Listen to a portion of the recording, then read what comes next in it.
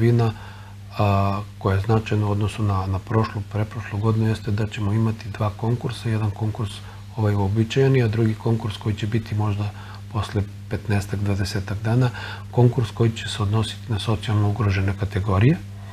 Znači, princip je isti, a, samo će u ovom drugom konkursu za socijalno ugrožene kategorije biti izmenjeni uslovi u smislu a, mnogo blažih uslova za mogućnost konkurisanja i sa druge strane veća, veće učešće države kod takvih korisnika. Koliko je ove godine izdvojeno novca za ove mere na teritoriji Pirota?